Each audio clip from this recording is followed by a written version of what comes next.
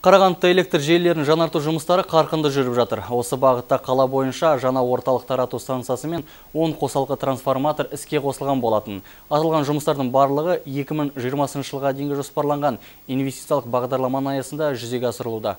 Қазіргі таңда еліміз бойынша Қарағанды энергетикалық жүйесі ең үздік және сенімді электр таратушылардың бірі болып табылады. Оның бірден бір дәлел ретінде Қарағанды жарық компаниясы ағымдағы жылдың даму жоспарына сай сапалы электр энергиясын ұсыну бағдарламасы бойынша ауқымды жаңғырту жұмыстарын жүргізуде. Бұл бағдарламаның жалпы аумағы жаңа қала Октябрь, оңтүстік шығыс, Федоров аудандарын қамтиды. Сондай-ақ ағымдағы жылдың жоспарында Тихонов және Пришахтинск бағытындағы электр желілерін жаңартып, сенімділігі мен әлеуетін арттыру жұмыстары қарастырылған Данная программа у нас реализация намечена на период 16-20 годы.